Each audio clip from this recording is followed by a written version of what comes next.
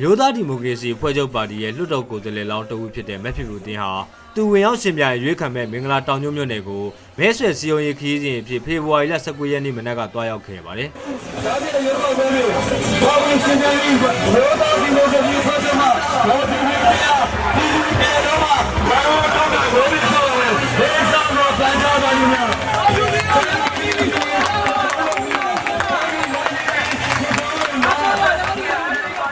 မဖြစ်ဘူးတင်ဟာမနက်ပိုင်းဖို့မြေရက်ကွက်နဲ့လွတ်လပ်ရေးရက်ကွက်တွေမှာ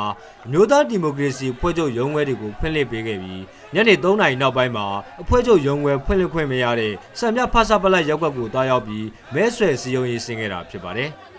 ဒီခီးစဉ်အတွင်းရောင်နဲ့ချီတဲ့ဒေသခံတွေကမျိုးသားဒီမိုကရေစီဖွဲ့ချုပ်ပါတီရဲ့လွှတ်တော်ကိုယ်စားလှယ်လောင်းမဖြစ်ဘူးတင်ကိုကြိုဆိုခဲ့ကြတာပါ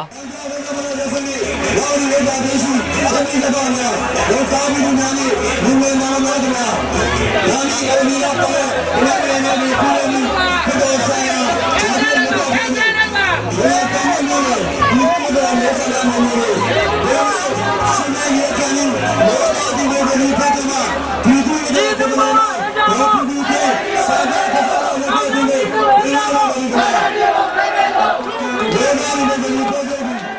မဖြစ်ဖြူတင်ဟာဖေဖော်ဝါရီလ17ရက်နေ့ကစတင်ပြီးမဲဆွယ်ခွင့်ရတဲ့ကာလမှာပဲသူဝင်ရောက်ရှင်ပြိုင်ရွေးခံမဲ့မြို့နယ်မှာသူကိုယ်တိုင်ပထမဆုံးအကြိမ်ဖြင့်မဲဆွယ်တဲ့ခရီးစဉ်ဖြစ်တယ်လို့နောက်3-4ရက်အတွင်းမှာလည်းမင်္ဂလာတောင်ညွန့်မြို့နယ်ကိုမဲဆွယ်စည်းရုံးရေးခရီးစဉ်အဖြစ်ထပ်မံသွားရောက်ဖို့ရှိတယ်လို့သိရပါတယ်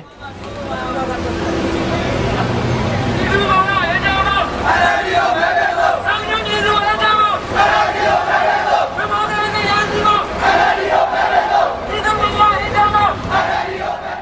လာမယ့်အေဗီလာတရက်နေ့ကျင်းပမဲ့ကြားဖြတ်ရွေးကောက်ပွဲမှာလစ်လက်နေတဲ့မင်္ဂလာတောင်ညွန့်မြို့နယ်မဲဆန္ဒနယ်မှာမဖြစ်ဖြူတင်ပါအဝင်လွှတ်တော်ကိုယ်စားလှယ်လောင်း9ဦးဝင်ရောက်ရှင်ပြိုင်ရွေးခံသွားမယ်လို့သိရပါတယ်ခင်ဗျာဘောလေးကိုကပ်ပေးပါ